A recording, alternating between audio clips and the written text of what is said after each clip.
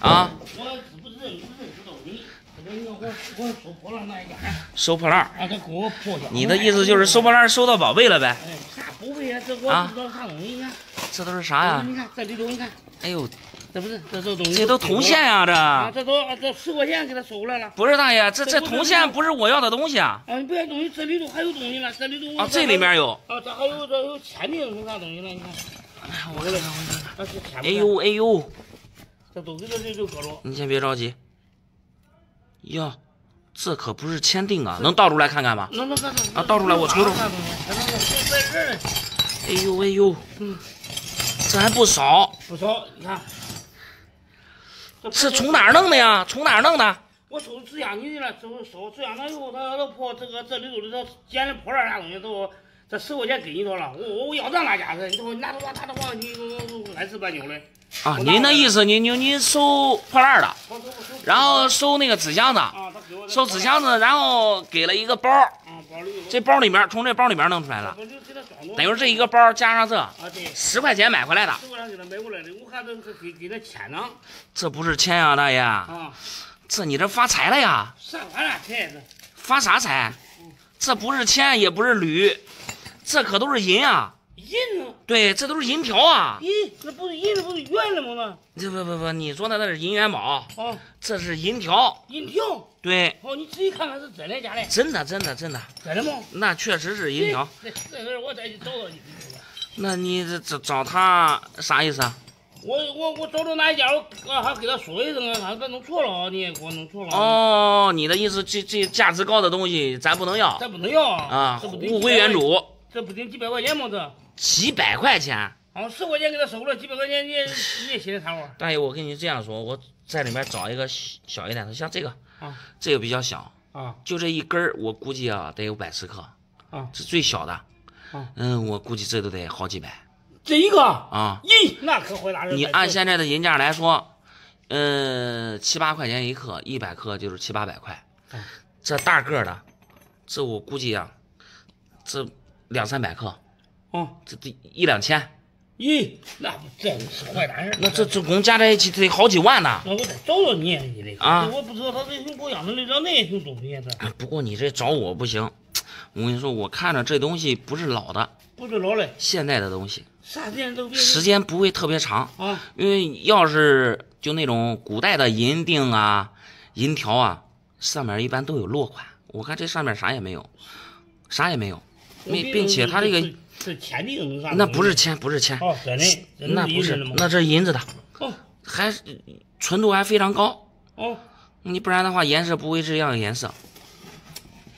哎这谁家家里面放这么多这个，咦，他那家人家收破烂，我这几天都上。还当破烂给你了？啊，那可能这个这些这这个不行，哦，我看这里面还有其他东西没有？还你再瞅瞅看其他有。呃我看看，这都是啥呀？这这是电线，那都是这是铜的啊，这铜的呀，啊这铜线，嗯铜线，嗯，这这这是啥这？这是铁的，这不是铁，不是铁吗？铁也比较轻啊，这嗯这会不会是银啊？嗯，这不是，啊，这不是，不是，这还有一，个你看是这应该是铝，这应该是铝，铝的，哎，铝跟这个一点关系也没有，跟这没关系。没关系，这这这是银的，正儿八经是银的，这重重量有那么重哦，放起来，那我哎，你找找主家，我找找主家。哎，找找主家，好好找找嗯，哎，能找到了，你给这给人家，人家弄不好还多少给你拿点儿好处，那对你说的是不是这发现了，刚才找我都不好意思了。那是那是我，提前我另一家有多重？哎呦，有有一斤多不？一斤多不止吧？这估计得有个三四斤，有三四斤。三斤到四斤。咦，我哎那这这这东西不错，都是纯银的。俺爷老房子里边果然有宝贝，我在里边居然能找到一个古董银鸡蛋，专家跟我说了，至少三百万。老房子里面找到宝贝了，还值好多钱。这样，我先上手看看，行吧？我跟你说，这也是可发大财了，啊，这管能值三百万。值三百万，这个东西能值三百万？这肯定是俺爷专门给我留的传家宝，啊知道我挣钱不容易，挣钱不容易，专门给我留的。专门给你留的。那你爷爷给你的时候咋说嘞？俺爷已经去世几年了，哦，我这不是回来过年了吗？嗯我上爷上爷那老房子去收拾收拾，哦然后发现出来一个银银鸡蛋，哦，在爷爷老房子里面收拾出来的银鸡蛋我一我递他手里的时候，当时我一拿，咦，我可高兴坏了。哦，特别重，对，重，我想着我得发财。得发财这个爷这七十几年了，还怪有心的，啊。这不都专门给我留的吗？哦，你要这样说，嗯那也也也算是爷爷留的吧。呃，但是我刚才听你说这一下能值三百万，这三百万从哪儿来的呀？这三百万是我搁网上查的，找专家，我搁网上找专家。哦，你找出来之后不知道这是啥，然后在网上咨询的这个古玩专家，对古玩专家说告诉你这是银鸡蛋，对，银鸡蛋呃，古董就是古董。啊，跟你说能值三百万。是的，你现在你给我找着账了吗？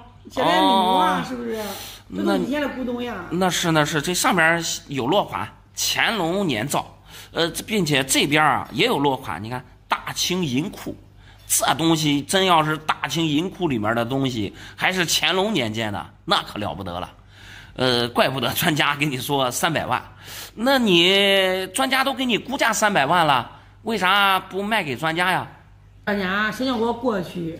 啊，去找那个专家，对呀、啊这咱这河南下雪下那大王子下几天了都没有停，我咋过去？再说了又那么远，叫我去上广东找哪去的？哦，那个专家是广东那边的。对呀、那确实太远了。那你今天拿到我这儿来，这是意思想卖给我呃，对，还想卖给你，我都想问问你，我对这不是不了解吗？啊？呃，别到时候呃过去了，那专家跟我说的估价是三百万，他万一值五百万了嘞，他少给我钱了嘞，我心里不得有个底儿吗？是不是？哦，你的意思就是怕专家骗你，那不都明明价值五百万，他给你说三百万，他一下赚走你两百万。是的呀，多问三家不吃亏吗？呃，你也挺聪明啊，还知道多问几家。那不都是吗？那你幸亏多问几家了，幸亏没有直接去广东那边哎，你要真去广东那边，我估计这个东西，你三百万得不到，并且我估计你还得掉点钱。有啥？为啥？啊首先这个东西啊，呃，专家给你说的这是银鸡蛋是吧？对呀、银鸡蛋。呃，我这样跟你说，它也就表面可能有一层电镀的银，里面我估计啊，连铜都不是。从这个你看这这个磨掉的这这里能看出来啊，我估计里面应该是铅，确实挺重的，确实挺重。呃，还有从这个落款上来看，这不是老的，你不要看着这上面写的是乾隆年造，它就是乾隆年间的，这不是，这就是现代的工艺品。呃，因为现在老爷子也不在了，我估摸着啊，这东西应该是啥呢？就是以前老爷子生前呢，在古玩街买的工艺品，这就拿在手上玩的，这不是老大。你说的不可能，啊那专家都跟我说值三百万了，到你这你来个古玩街的假东西下面我就要讲这个呢。啊！我跟你说，像这种东西，在我们古玩行这一看就是假的。那个专家，说明你找的也不对，肯定是一个大忽悠，你碰到骗子了。你要真是，呃，信他的话，到那儿去啊，我估计啊，呃，到那儿之后，他会说让你先鉴定啊，呃，出钱鉴定，然后呢再参加拍卖啥的，到时候你三百万得不到，你得出鉴定费啊，你得出拍卖的佣金啊，给你要钱。这大过年的，你不就上当受骗了吗？你这一说咋那复杂呀？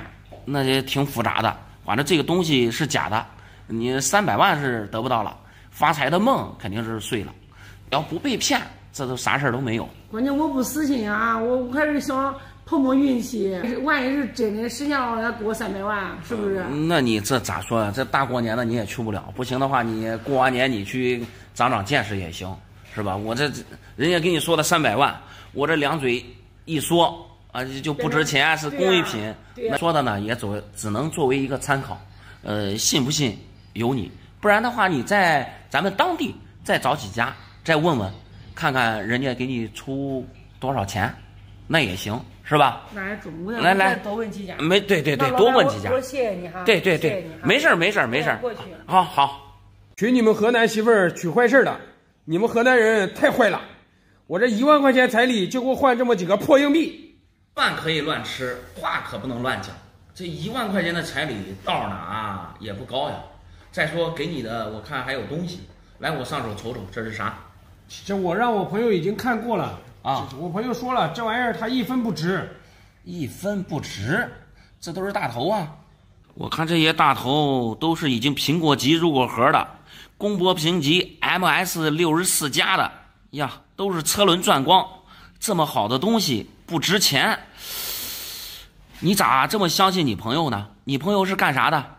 我朋友他见识太广了，他这一直走南闯北，外边跑了几十几年了。哦，我让他看了，他以前也玩过这东西啊。他说这东西都根本不值钱，不值钱。嗯，呃，这些银元等于说算是你，呃，你媳妇儿的嫁妆银元吧，算是。当时我们没结婚之前，我老丈人说的，让下一万零一的这个彩礼，也代表着这个万里挑一，是不是？那是啊，那你这老丈人非常好啊！你彩礼一万块钱的彩礼，说实话，现在还哪有这么低的呀？啊，这还并且不单单彩礼低，这还给的这嫁妆银元，你看这都是高分 MS 车轮转光的，这么好了，那你咋还说我们河南人不好嘞？不是你不知道咋回事啊？这这结婚的时候吧，献完彩礼以后，我老丈人说，他到时候给给我们几个这种传家宝之类的东西。啊，反正值钱的玩意儿。嗯，啊，然后你们这还有什么结结完婚以后吧，还还有什么回门这一说？回门那是。结过婚三天之后，对啊，领着媳妇儿去呃岳父家。嗯，我我们去回门了，然后我们最后我还心里想着，我老丈人是不是该给我那个好东西了？啊？我这来的时候感觉心情澎湃的，嗯，特别开心。走的时候给我包里塞了这么几个破铜币、破钱币啊，反正这东西不值钱。我走一路上我还跟我媳妇儿说呢，我说咱爸不是说给那个值钱的啥东西宝贝的吗？啊，我媳妇儿说就这玩意儿，就这玩意儿，这不就几个。破钱币吗，我在市场上我见过这种东西，也就一百来块钱一个。哦，你也找你那个见多识广的朋友是吧？嗯，我看了一下，我让我朋友也看了，我朋友说这玩意儿它不值钱，说这玩意儿他八个他给我一千块钱，让我给我准备给我收了呢。哦，你那个见多识广的朋友说这八块银元，给你一千块钱，嗯，让你卖给他，嗯。这我我听一个朋友说，你这是搞这个专业搞银元的，让我过来找你看看。哎呀，你幸亏来我这儿看一看啊！你那什么见多识广的朋友啊，你那啥朋友啊？他要不懂这玩意儿，他也不会买。你别说花一千块钱买了，花五百块钱他也不一定要。但是他要懂，就这八块给你一千块钱，嗯，那不是瞎胡闹吗？那不是瞎胡闹吗？普通的大头就是那种流通过的。呃，品相一般的，一块儿现在也得一千一千多点儿，更何况我看了一下，这大概应该是七块大头，有一块是开过小头，七块大头全部都是 MS 六十四加的高分车轮转光，没有流通过的东西。像这种，你知道一块能值多少钱吗？值多少钱？值多少钱？一块没个三四千买不着。你想一下，这七块多少了？你给我开玩笑呢？你就最便宜，你就按三千，三七还两万一呢，不比你的彩礼多？你还想着你那一万块钱的彩礼给给多了还是咋回事？还说我们河南人不好，这还不够？说实话，这还不够实在的吗？你下了一万块钱的彩礼，就加上这些银元，没个两三万，你能买得着吗？还听你朋友的？你的朋友骗你的，我跟你说。大概率是骗你的，想骗把你这银元一千块钱给你骗走，能明白吗？你要是真是不想要，跟你说，你要是真不想要，今天你放我这儿，我就给你按刚才你说的这个价格留我这儿，咋样？那不行啊！这我我老丈人说的，这玩意儿是传家宝，我得回去跟我媳妇儿商量商量。对，跟你媳妇儿好好商量，这东西不但价值高，而且还是传家宝，确实是传家宝。你想一下，你看看。中华民国三年，一九一四年，现在是二零二四年，这已经整整一百多年了。一百多年前的东西放到现在还跟新的一样，你说它的价值高不高？越放越值钱。别得了便宜还卖乖，把这东西好好收起来，以后不要说我们河南人坏了啊！好好好好，啊，谢谢你啊，老板。没事没事。大姨，到底是啥宝贝啊？搞得神神秘秘的啊？后头给人有人吗？呃，没有没有，就我自己，不能让别人看见了。啊，来来来，搁搁这儿就行，我看看到底是啥。哎呦，这是啥呀？这不是金砖吗？这金砖呢，真金条哎。哦金。砖金条，嗯，这从哪儿来的？这盖房子挖地基挖出来的。盖房子挖地基，能挖出这东西来吗？嗯，这谁跟你说这是金条的呀？这黄的不是金条吗？这黄颜色，这跟金子有点差距啊，可是门道的金子呢，跟现在的金子不太一样。跟现在的金子不太一样。嗯，嗯、那你这是今天让我过来就这些东西，还有其他的东西吗？其他的东西没有没了。啊。那这玩意儿，这可不是黄金啊，大姨，这跟黄金一点都不挨边儿。你看这颜色，这黄亮亮的不是黄金吗？这就是铜的颜色呀！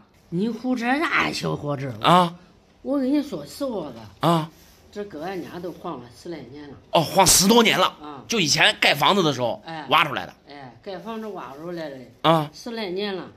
那挖出村了，挖出来的时候，俺那邻居，他今儿个来了，明儿来了，他嗯给我十万块钱。你邻居？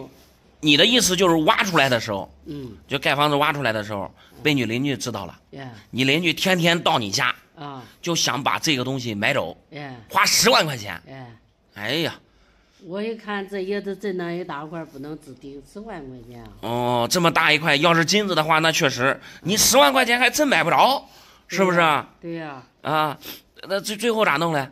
最后嘞，他整个来三天两头来了，三天两头来了。啊，三天两头都来、啊来家里啊，到最后来，他就有我也有点烦了啊，有点生气了。啊，我也有点烦了。那是呀、呀，不卖就不卖了。是吧？哎，我我卖了了啊，给他说已经卖出去了啊，啊，最后才不来了哎，他他不来了啊。这这这东西等于说现在一直在在在咱家里放着。啊，在家里放着呢。哎呀，大姨，你觉得像这个东西，你想卖多少钱？是咋着不不不顶个百十万吗？哦，你的意思今天让我来，想卖给我一百万？啊，哎呀，大姨，咱说句实话啊，即便这东西是老的，是黄金的，就上面没有落款，啥也没有，就是一个金条，它也值不了一百万。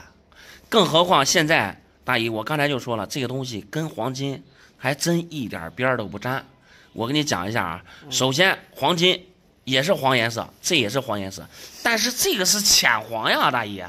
前方这门道的呃黄金没有现在的纯可能。哎呀，大姨你还懂得多。嗯我跟你说，他别说是以前的黄金，嗯你看过那个电视没？三星堆里面挖出来的那个黄金面具，嗯，那都上千年了呀，几千年了呀，那还黄澄澄的，那跟这颜色也不一样啊。更何况这东西能有几千年吗？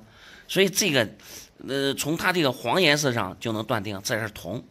另外一点，我跟你说，大姨，非常重要的一点，那就是啥呢？黄金它比较重，就这玩意儿，这么你连乱可沉呐，拖着。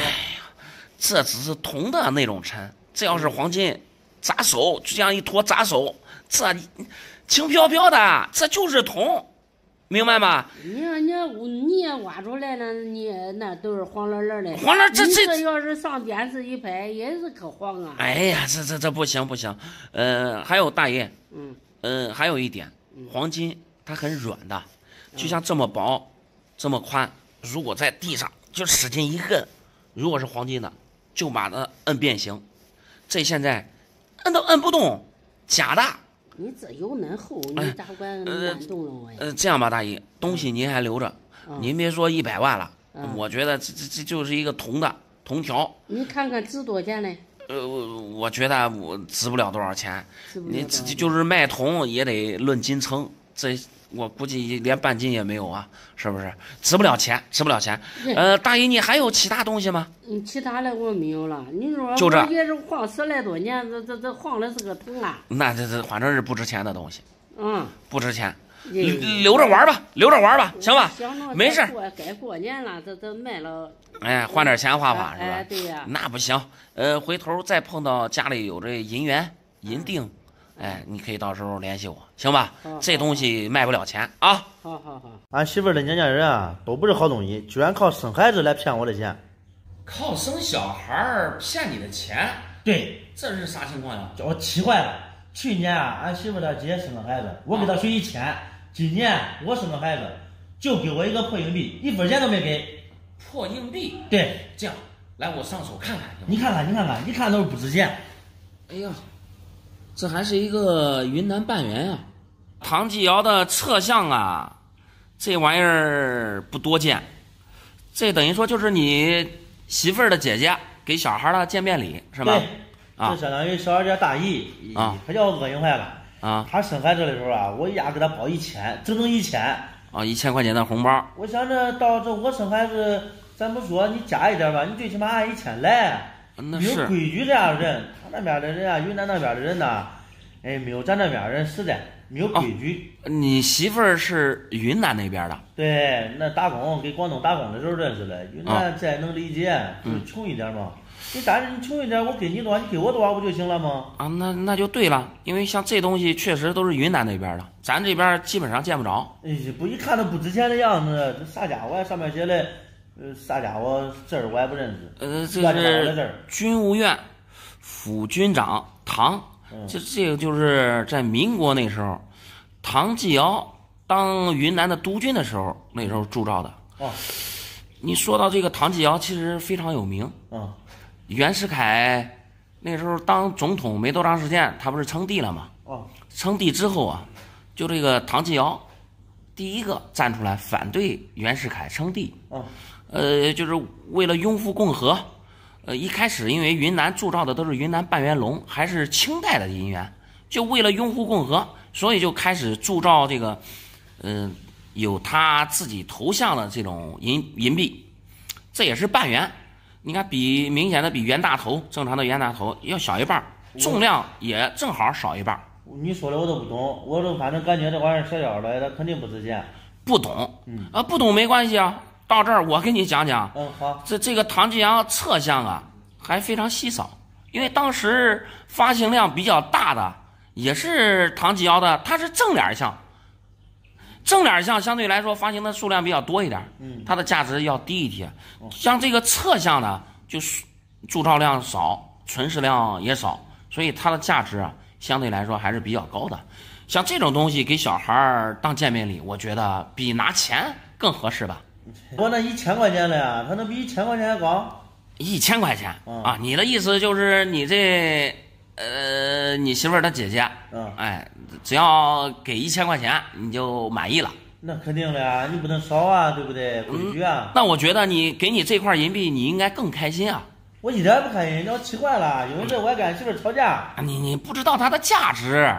嗯。呃，刚才就说了，它分两种嘛，一个是正脸的，一个是侧脸的。侧脸的少嘛。嗯。正脸的现在一般像这种品相。呃，估计也得两三千块钱，侧面的价值更高，更高。对，就这裸币。那你赶紧看看。呃，这个边道稍微有点磕碰，嗯，呃，但是整个流动痕迹吧，相对来说比较多一点。但是，呃，整个的这个包括制口啊，还有人像啊，还是能看清楚的。嗯，像这种品相，我估计没个大几千块钱，你可弄不回来啊。多少钱？大几千。你没看着吧？这小腰的又不是金的。金的值不了大几千。呃，我这样，我给你吃个定心丸。嗯。就这东西，如果你不想收藏，嗯，不想替小孩留着，嗯，你卖给我，我给你拿五千块钱。五千块钱？对。呀。确定啊？肯定的呀。哎哎哎这你不要看小。啊。这个银元，它的价值跟大小还没关系。啊。呃，主要还是看它的这个铸造量、存世量。嗯。你看这事弄的，这误会了，误会了。那肯定是误会了。哎，我因为这还给俺媳妇儿家姐拌了两句嘴，俺生气。嗯，大老爷来了，那是。这也不能怪我，我不懂这，你这给我钱多了吗？这都没事儿，马上该过年了，你肯定得找娘家。对，是不是？对对，初二。真到云南那边，到时候给你这这算是啥大姨子是吧？对。给他赔个不是，好好说，都是一家人，这都不算啥事儿，是不是？他不告诉我，我也不知道，这不是容易产生误会吗？嗯，那是那是。这个银币展动是留我这儿还是继续收藏？那不中，那不中，我得好好放着，好好放着。我说实话，咱这大我也没见过这贵重的东西嘞。那没事越来越贵，我肯定得给儿子放着。对对对，等一会儿我给你拿个保护盒装起来，要行吧？不要钱，不要钱行行行，老啊！板，你这人真好。没事儿没事来先拿着，先拿着啊。好好好，谢谢啊。那我爷家了，这祖传的东西能会有假吗？三十年前它能会有假东西吗？你好，想弄点啥？俺姥爷给我留了一块价值上千万的银元，我现在想变现。你看看，价值上千万的银元，对，哦，还用盒子装起来了。必须得保护好。我的天呀，你姥爷能有这姻缘，这可是少见的很呐！嘿，你可说着了，啊，这都是瘦版的袁世凯。瘦版的袁世凯哎，常见的那个共和啊、飞龙啊，跟这都不一样。跟这不一样那是胖袁世凯胖的时候呃那个做的币，哦。这是袁世凯不在了之后，他们找出来袁世凯当时年轻的时候一张照片，专门做出来了一块币。哦，那老哥，我想问一下，嗯，老爷子这银元从哪儿来的？俺老爷一直都在北京闯荡，哦，这是他三十年前嗯，花了三百块钱捡的大漏捡过来的。哦，等于说这是老爷子三十年前在北京，嗯。花三百块钱捡漏来的。对，当时他朋友都知道这个事儿了，哦，呃，愿意用北京的一套宅子，就是现在来说就是三环以内的宅子，哎，给他换这个银元，俺老爷都不换。啊，你的意思三十年前，嗯就你你姥爷的朋友啊哎，知道有这块银元，嗯，然后想用北京的一套房子、哎一套宅子、宅子，一套北京的老宅子哎，去换这块银元，都不给他换，老爷子没换。哎，肯定不换，这得祖传下去的。我的天呀，那这这一套房子，北京的一套房子还不换吗？那是俺姥爷已经查过资料了，哦，就这个寿版的袁世凯这个银元啊，嗯，只发行了不到三枚，不到三枚。哎那你的意思就是发行两枚？哎，特别少见，哦，非常其中一枚在我们手里。非常珍贵。哎，那这这现在到你手上了。哎呀，俺姥爷说实话，就俺妈自己，啊俺妈就用我自己，哦哎属于单传，他不给我，他给谁啊，只有你这呃，只有你这一个外孙儿哎，对，啊，等于说把这个传家宝哎算是传到你手上了。算是传到我这一代了。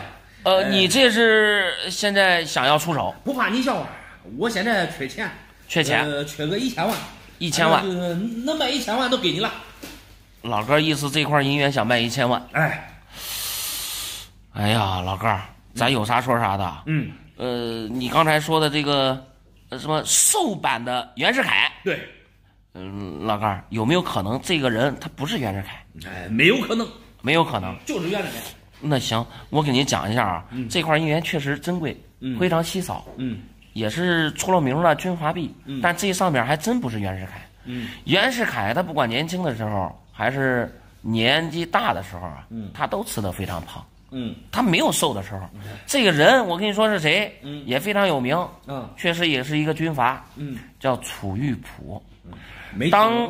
没听说过，我给你讲一下你就明白了。嗯，东北王张作霖你知道吧？哎，这是张作霖的一个手下，哦，也是土匪出身。嗯。张作霖在占领了北京之后，在民国那时候，然后他主政北京，当那个督军的时候，哦铸造的就这个银币，也算是纪念币，嗯或者是纪念章都可以。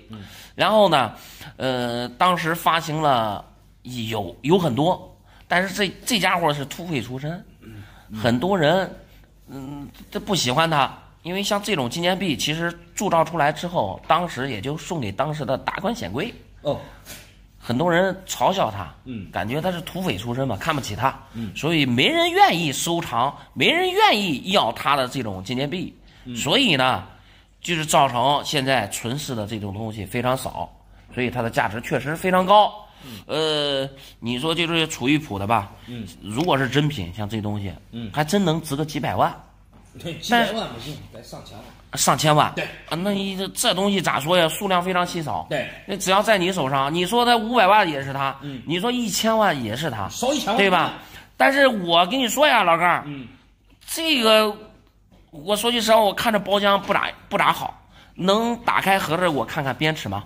打开的时候一定要千万小心。嗯看那上一次都盒子摔烂了，幸亏没伤到里边的银元。那是那是，必须得小心一点。这万一摔着银元了，说实话，这一千万，你我感觉你你也买不了。那对对对，你说的对，那必须得小心点哎呀，不好开啊！盒子特制的盒子，哦，特制的盒子。嗯，行，我就看看边尺啊。嗯。哎呀，老哥儿，嗯，我刚才没打开之前啊，我看这个包浆不舒服。嗯。现在打开之后，我再看边瓷，一眼开门儿，啊不不不不，也是 一眼假。啥意思？我看着不对，我看着不对你这这说话，老板，你这说话一点都不靠谱。啊！你要不然您再找其他人看看。咋管一眼假了？这祖传的东西能会有假吗？三十年前它能会有假东西吗？呃不好意思，不好意思，您找其他人看看，好吧？你这不看不懂，都都都都都都直说。不好意思，不好意思，不好意思。老板，你给我看看俺公公给我这个银元值不值钱？要是不值钱，大年初一我得叫他撵滚蛋。哦，这是老爷子给你的传家宝呀。这样，我先上手瞅瞅。中，你认真看看，重点是看它到底值不值钱。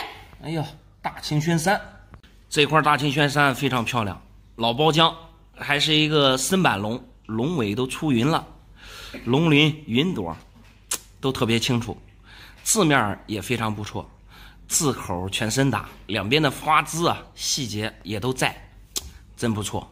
老爷子把传家宝银元都给你了，看来对你这个儿媳非常认可之前也没听老头说他有传家宝啊。啊。之之前没听说过。是的，这突然间冒出来个这，哦，这这这为啥要给你这个呀？突然之间，咱公公都七十多岁了，哦，俺老公嘞弟兄俩，嗯，他有个弟弟。你说这老头年龄大了，这都是俺商量嘞，一家半年轮流伺候他。呀，那不错。那你老公还有他弟弟，这都非常孝顺。那孝顺是孝顺啊，关键是该轮到老二了，他没有回来，轮到老二了，没回来，啥情况呀？他出去打工去了。你说这不是心里赖吗？那该你伺候了，你出去打工去了。那是，那那这也没办法啊，那只能说先住你们家。那不中，那俺该尽的义务俺尽了。他要给俺这儿多待一天，那都不中。那该老二了，那都他得叫他接走。啊，那不至于，那可能确实是你老公的弟弟啊，呃，可能有啥事儿，呃，现在回不来，等他回来了，到时候在他家多住几天，不也一样吗？嗯他能有啥事儿哎？他都是玩心眼子嘞。啊，那俺家条件也不是多好，啊都这俺该尽的义务到了，那不中我都叫他撵走。那你看老人都把银元给你拿出来了，嘞，老头儿可能感觉也不带劲，不好意思，哦，他叫这个给我了。他说的这是俺婆婆之前他们结婚的时候说的是嫁妆银元吧？哦，你婆婆的嫁妆银元。是嘞，他看是不是管抵点生活费？哎呀，嗯、你的意思就是现在不知道它值多少钱，是的吧？我跟你说，呃，你公公给你的这块银元啊，还真是价值连城。你看，我刚拿到手上的时候，我就说大清轩山，这个大清轩山这个龙阳呢，是所有龙阳里面，所有的这个带龙的银元里面，龙最漂亮的，它是龙阳三剑客之一啊，本身它就价值连城。另外呢，你看一下它这个龙鳞、云朵以及它这个包浆都非常漂亮，非常自然。这说实话，这搁这个大清轩山里面啊，像这种品相很少见。呃，普通的一块大清轩山现在得个万儿八千的，像这种品相这么漂亮的包浆，那就更少见了，翻个好几倍都没问题。我说老爷子把这这么珍贵的这个传家宝都给你了，我觉得，嗯，别说你在你们家再待个呃半年一年的了，我觉得以后啊，你给他养老都没啥问题。咦，这也能值那些钱吗？一块儿管值几万吗？那是，那你要这样说的话，那俺老二回来了，我也不能叫俺公公叫他接走。那对，咱作为子女呢，就得孝顺老人。咦，我听俺老公说嘞，俺婆婆结婚那时候光这样的银元也是六七块的呀。哦，六七块这样的银元，嗯，那最起码都几十万了。那你要这样说嘛，那我得好好伺候他。那对，你说实话，你对老人好，哎，那老人以后的这个传家宝不都留给你了吗？是不是？是嘞，有道理。哎，还有这个银元啊，说实话，不要轻易的拿出来让人看。有句老话说的非常好，财不外露，对不对？你让别人乱看，呃，这个看看那个看看，万一谁给你换成假的了，万一给你拿走了，那不太可惜了，是不是？是嘞。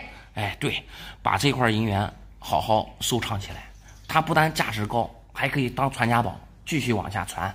等一会儿呢，我给你拿个宝盒装起来，好不好？好，谢谢老板。来，把这个拿上，回去啊，好好孝顺你公公啊。走，好嘞，好嘞。你好，想弄点啥？我有个东西想让你看看，你方便不方便？呃，啥东西啊？拿出来我瞅瞅。这个音乐，哎呦，还是一个 PC 评级的大头，甘肃版的。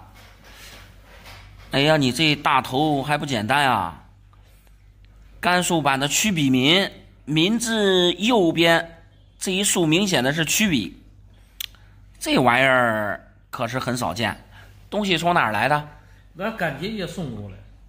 干姐姐送的。嗯，对，俺干姐姐这个人特别喜欢我，喜欢我的这个人长得比较帅。嗯我有一把好手，调了一把好手的鸡尾酒，哦，那肯定是认识很长时间了，嗯也没多久吧，一个星期。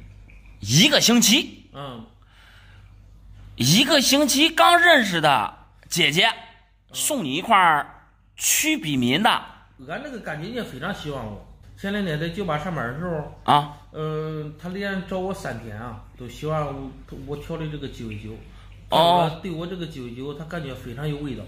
哦非常我这个。觉得你你调的酒啊，呃合她的口味儿嗯，对，哦俺，俩聊聊的也比较来。那也不对呀、你都不知道这东西值多少钱。刚才听你说刚认识一个星期就送你这这个东西啊这是前两天，俺俩不是聊的比较投缘吗？啊她是叫我上他家来吃饭，哦吃饭她老公也没在家，俺俩就吃了饭，喝了一瓶五粮液。喝了酒之后嘞，嗯，她说嘞，这个东西你要喜欢就送你嘛。我我对这东西不懂啊。她说你拿着玩吧，反正是值钱。哎呀，那非常有钱啊！你这个姐姐她说嘞，就是你先去找别人看看，要不值钱你再给我送过来。你要感觉值钱的话，你过春节的时候，啊嗯，她老公没在家，意思叫我陪她散散心，出去玩玩。哦，等于说给你一块银元，你这个干姐姐，然后让你陪她聊聊天、散散心。啊，主要是春节想让我陪陪她，她老公不不回来了。我的天哪！那你这拿到我这儿来是干嘛？我叫你姑姑家卖了姑姑家卖了它。它啊，呃，那你姐跟你说这只多少钱了吗？她没有说。哦，没错。嗯，她因为这是她老公的东西，她我的天哪懂吧？啊，这是她老公的东西。嗯，对，你知道这个能值多少钱吗？我不知道。大头银元其实非常常见，嗯平常的呀一块儿也就千元左右这个也是千把块钱。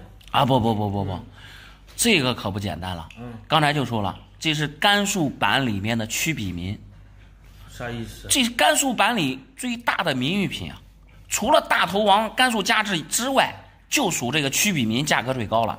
它的最最大的特点就是民字最右边这一竖是一个曲笔，嗯，正常的是一竖，但是这个是曲笔，所以叫曲比民。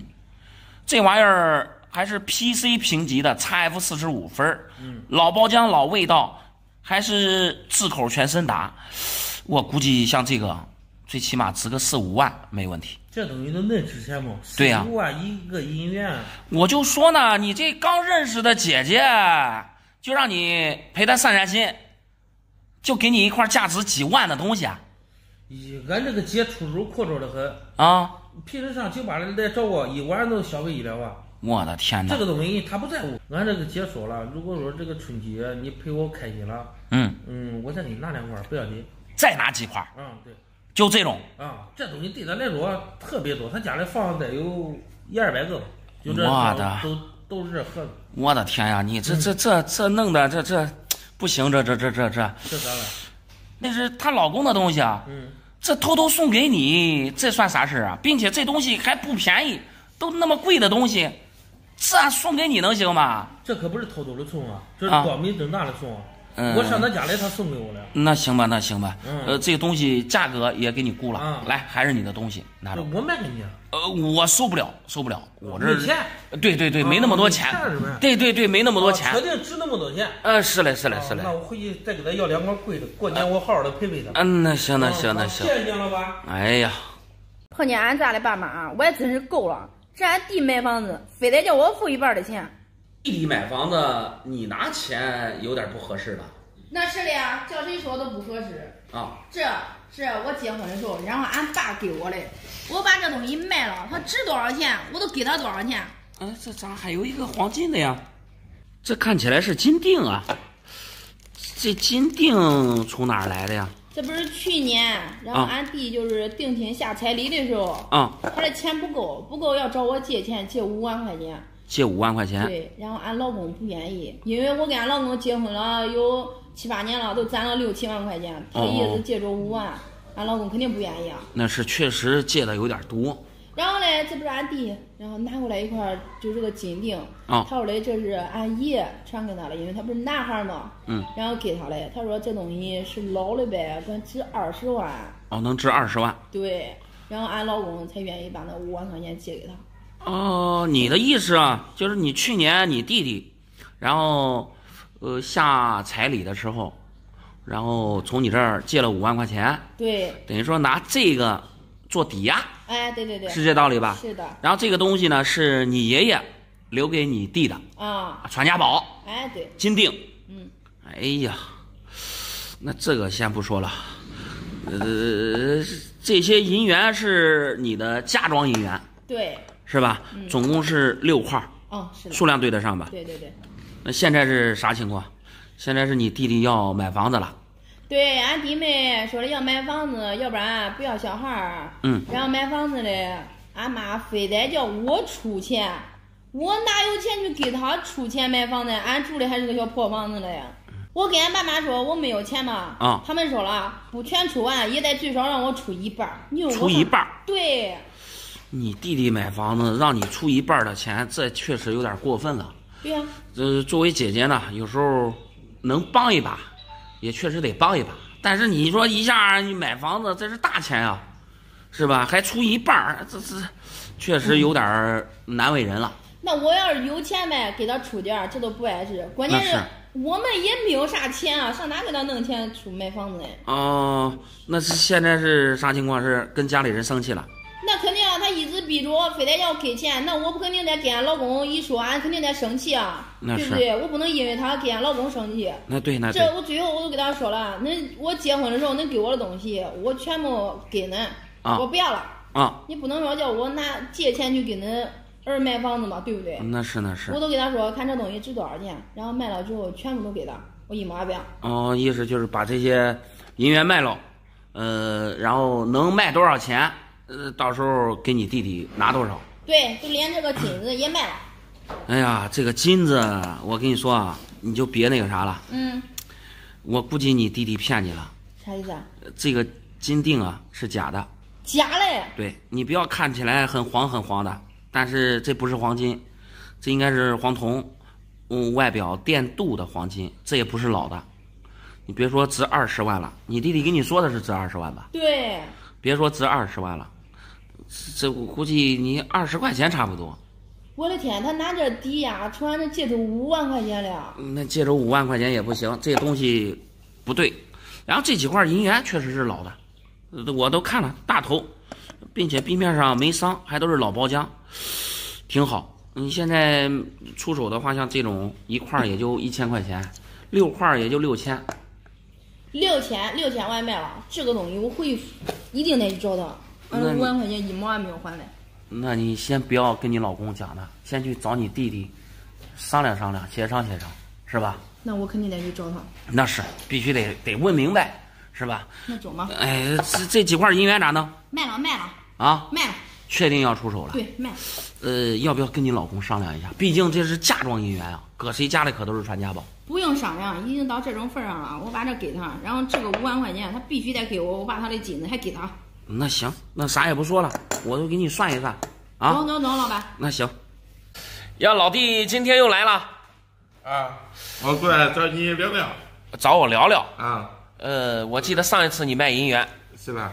还不到一个月吧？呃，你别管是不是有一个月了啊？这又拿出这么多，今天还是要出手？呃，是那肯定拿出手吧？呃，先对一下数量，嗯、行吧？数数吧先数一下数量，五块儿，啊，又是五块儿，又是五块儿。五块儿，又是五块儿，总共是二十七块儿，是的，数量对得上吧？呃，数量对，反正随手一抓，嗯啊，呃，之前听你说往外卖银元，也都是平常一个月到两个月才卖一次，这还不到一个月，这为啥又要出手了？我搁网上认识一个小妹妹，这马上该过年了，嗯，在需要花销啊。哦，网上认识一个妹妹，嗯，啊，过年需要花销，你得省着点花呀，老弟，嗯、咱有啥说啥的。哎，这个钱本来都要花嘛，再说了家里还一大堆的，这只是冰山一角啊。我我知道，我知道，之前听你讲过。呃，老爷子留下来的吗？嗯、是吧？是俺爷留留给我的，我不管咱们，对不对？那是那是，留下来虽然多，但是咱咋说呀？今年应该有二十多岁。啊，我不给你说过了吗？二十八，二十八岁了。嗯，你像二十八岁，你往后的日子还长着呢。嗯、我上次我听你说，好像就以后不准备找工作干啥的。那是的，那个就靠卖银元是吗？啊，我这卖几年了，这你这我都岁数一把，你不嫌我多多挣家底儿？嗯，那我知道，我知道家底儿很厚，家底儿很厚，但是你也得为往后考虑一下嘛，是吧？哎，那那不用你操心了，不用操心了。那你这说实话开销挺大呀。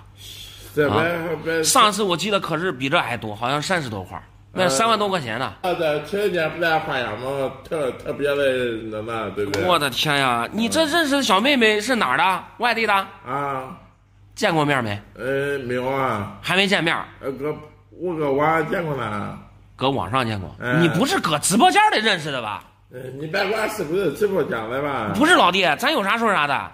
你说这这老爷子给你留的银元，确实你一辈子不工作花不完。但是你要是这样弄，搁直播间里，人家让你刷礼物干啥的，那可不行啊！嗯，刷礼物我可给他刷的啊！我跟你说，他要不给我见面，我跟你说，我根本都不会说给他那那的。哦，对对对对对，不见兔子不撒鹰，哎，是吧？啊啊，那对那对，那你就得这样。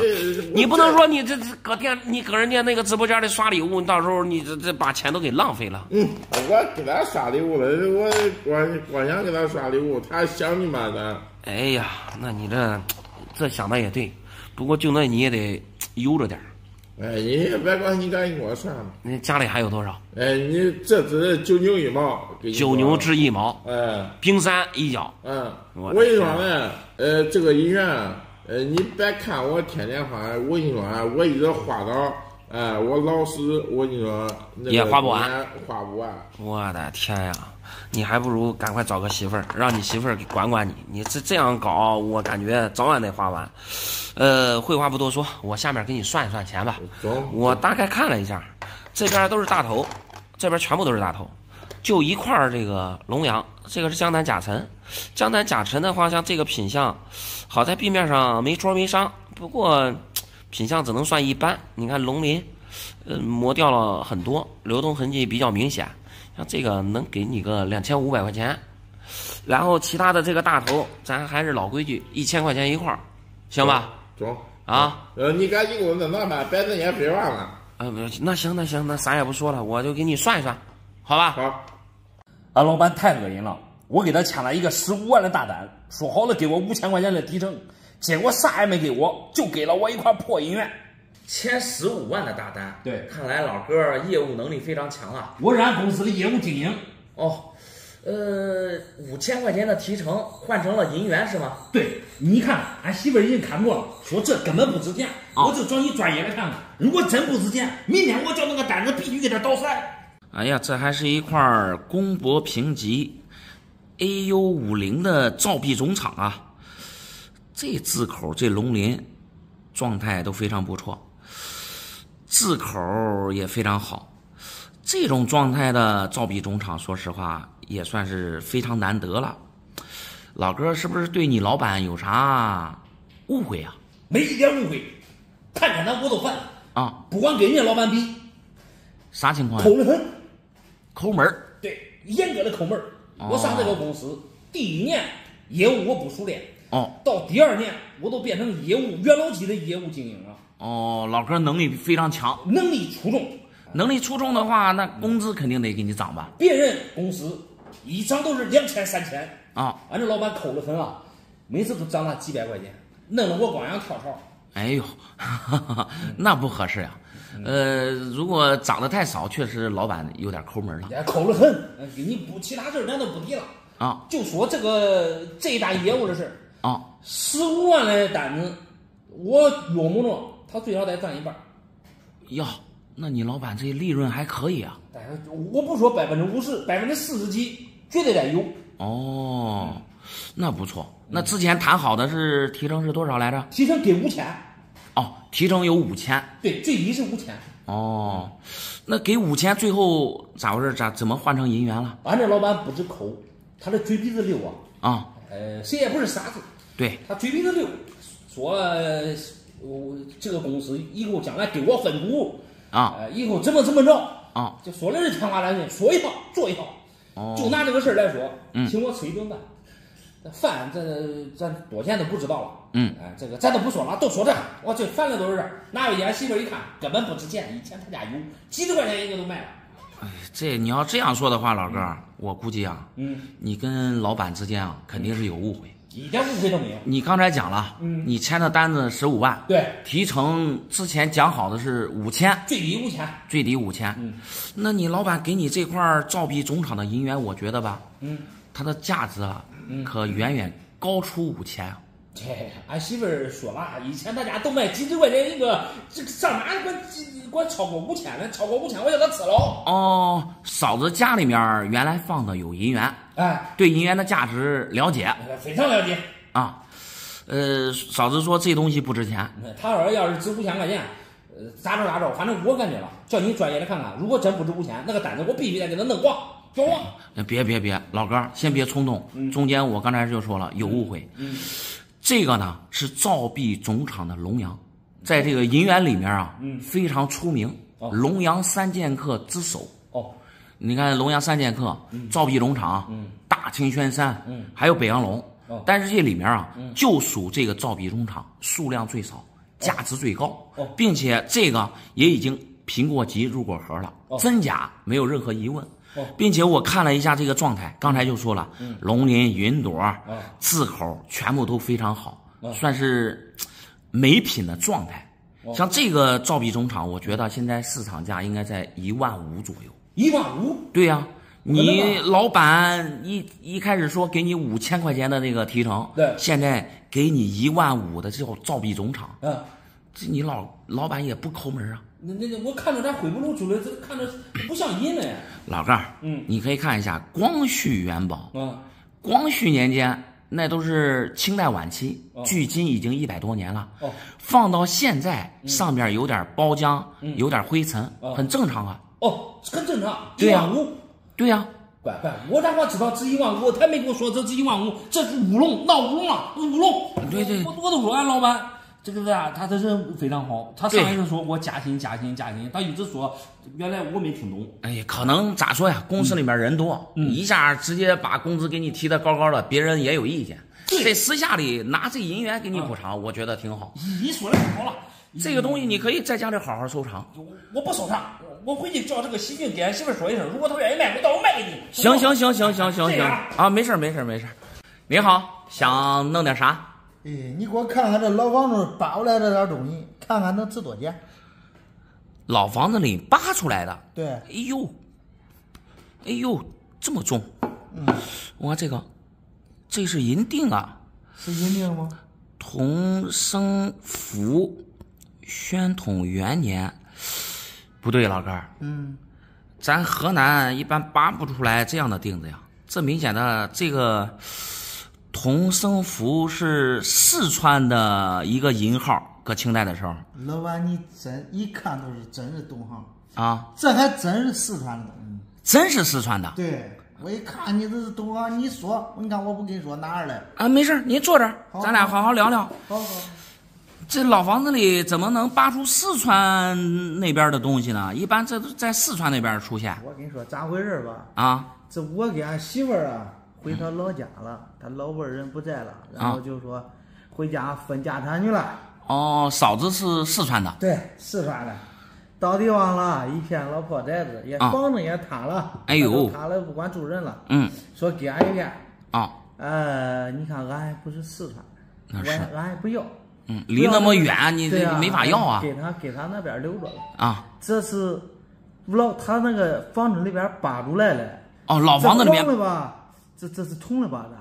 这这不是铜这，啊，炸了有五六个。哦，这白的吧，看着他们说是呃银的，我也不知道。那这个有十来个。那是这是银锭呃，当时想想啊，这个东西啊，你说留个念想吧，一样你给俺要了一个。啊，本身说是一人分几个啊，对，本本来这个东西他说登监的，俺没要房子多给俺俩了。啊，哎呀，我这这这也不值钱，这这留个念想嘛，这老白家那老辈儿的，嗯，啊，一样留了一个。一样留了一个。啊哎呦，看来嫂子家里面以前不是普通人呐。啊，这这这俺说不了，那是新这边的，嫁鸡随鸡，嫁狗随狗吧。我跟你说，老哥儿啊，我跟你说这俩价值之后啊，你嗯铁定得回去，还得重新分，你说这意思，这值钱？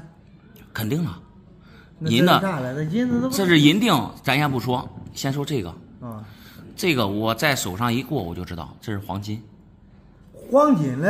这是黄金。这这这色儿的这样的？嗯，不知道，应该是上面沾的脏东西。你要是拿回去拿刷子使劲儿刷一刷，我估计能把这个刷掉。这是黄金，就这一块儿几百克。老板，你别求我，这是真的吗？我拎起来，我估计起码是十两的。十两的话，按以前的秤来讲，应该是三百多克，咦，这值钱了吗？并且比比现在的黄金价格还要高。就这一个东西，我估计弄不好啊，二十万往上，那你要这样说呗，二十万往上。连夜俺两口子赶紧回去。啊，就这个啊，银的就不值钱，不值钱，就再不值钱，就这东西我估计啊，最起码得价值一万往上。你说这两样东西二十多万，对呀、我就说呢，你呃嫂子家以前肯定是大地主级别的，不然的话不可能有这东西。老百姓家里面，你别说这个黄金了，就这银锭也不会有。这个咱说不了。但是你说这话，这个东西你收不收？我收不收？对，那确定咱们自己家的，回头到时候咱们可以商量啊，价格可以好商量。那行啊，杰哥如果说给你连夜俺俩包个车回家，那你你要是真是说要是挖出来像这种，呃挖出来五六个是吧？五六个了，五六个这都一一二百万一二百万，银锭十几个的话，就一个你你就按按个算，一个一万块钱，十几个那都十几万。啥也别说，啊他们不知道。我趁这个时间差，嗯，卖人，今个黑了包车连夜回去。包车连夜回去。对，哦，那行，那啥也不说了，嗯我等一会儿给给你好好谈谈价格。行行，你看着我算算。嗯，这样老公没法要了，他一个月挣一万，只给我八千，剩下钱全部都给我买成银元，我给他离婚不过了。这挣一万块钱给你八千，这给的不少了吧？更何况跟那个银元还有手链有啥关系啊？他不是喜欢这银元吗？啊我把他这银元给这手链全部换成钱，我不能让他好过了，我要跟他离婚，我跟他不过了。哎呦，不至于吧？至于黄金的呀，这是。都是黄金手链，这手链拎起来不轻啊，估计得有几十克吧？这我不知道，这俺老公没结婚之前他自己买的。哦，这还得好好放好。这些银元是啥情况别提了。啊？俺老公一个月都挣一万块钱，给我八千，他自己留两千。我怀疑呗，他把剩余的钱全部都买成银元了，都喜欢银元。哦，那喜欢银元也没啥毛病啊。咋没啥毛病？我快烦死了，都不知道。再说了，这一个月给你八千块钱，我觉得应该也够用了吧？根本都不够用。嗯，都这我出去跟俺朋友逛逛街，买个东西，吃个饭，啊，呃，打个牌。我跟你说，那钱都根本都不够花。哦，你还打牌？那是嘞，那以前认识我时候天天打牌，玩的都些大。啊那现在结了婚来，一个星期都玩了两三次，而且也不敢玩大的，因为没有钱，都是玩小的。哎呦，这打牌都结过婚了，不能打牌啊？谁没有个爱好哎？是不是？啊，那是那是，那这现在是啥情况呀？现在啥情况？我给他好好上说，嗯，我说嘞，你看你没有结婚之前，你一个月都挣一万块钱，对，你这结了婚之后了，变成两个人了，那开销都大了呀。然后你还挣一万块钱，给我八千，根本都不够花。我跟他说，你给我九千五，九千五对你每个月我只给你五百块钱，你给给朋友交际呢，是吧？啊我感觉已经已经够了。他不愿意，他跟我吵，啊他跟我一不愿意他跟我一吵，我要跟他离婚，我不跟他过了，这日子没法过。哎呦，没必要。看着你们结婚应该时间不长吧？不长，才一年多。啊，一年多。呃，我估计啊，你们之间应该还得好好磨合，不能因为这就离婚。两个人能一起结婚过日子，这肯定是天大的缘分。你有啥事儿好好商量着来，嗯，不能一生气就提离婚。你别管了，俺俩事你管不了。嗯你给你给我看这能值多少？能值多少钱？对，呃，这个黄金吧，呃，你要估价的话得到金店，不过现在黄金五百多一克，嗯、这个手链估计得有几十克，估计得几万块钱。然后这个那个银元呢，这就是我的这个专业了。我看了一下四块大头，这个是九年金发，发丝比其他的三块明显的更细。现在九年金发，呃，我看的是老五彩的。PCGS 给的是 XF 九七，虽然没给分，但是这个状态非常不错，发丝非常漂亮。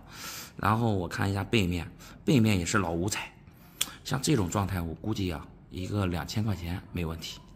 然后其他的三块儿也都是老彩的大头，嗯，确实你老公应该玩银元玩的时间还是比较长了，找的这些东西都算是精品了，一块儿我估计一千五左右没啥问题。一一千五，那下来快万八块钱了吗？这四块。嗯，不到吧，应该一千五、三千、四千五，加上这个六千多块钱。哎，我感觉到你这样一估价不当你，我感觉俺老公骗我了。啊，他玩这玩可长时间了，他认识我说俺谈恋爱的时候都已经我这儿了。他哦家里、家里边可多了呀，我只是拿着就是随便拿了四块，我不懂。啊，家里边还有嘞，那玩这挺好啊。你老公玩儿有多长时间了？得有七八年了。七八年。啊，哎呦，七八年的话，你老公如果一直收藏这个，我估计肯定是赚钱的。赚钱。对呀、银元，比如说七年前，像这一块儿这个大头，估计啊，应该不超过一千块钱。现在你看一千五，能明白吧？是赚钱的。赚钱有啥用啊？赚钱又不给我花。哎，他给你结婚了，他赚钱肯定是给你花的呀，只是不想让你一下花完。以后你们有孩子了，对吧？不得给小孩留点啥？别生气了，回去好好过日子，是吧？你老公挺好的，你别管，啊这些东西给你，你到底要不要？要卖给我。对我变成现金。呃，是这，刚才也听你说了，这是你老公的收藏，我估计啊，你老公应该也是对这比较上心。你要是想出手这个，我肯定是乐意要，但是你得领着你老公一起来，我才能收，明白吧？老板，你咋都这样子嘞？有钱赚你都不要，嗯，不好意思，不好意思。你要不要？我我也拿，我也拿东西走。我让钱亮了，那行，那行，那行。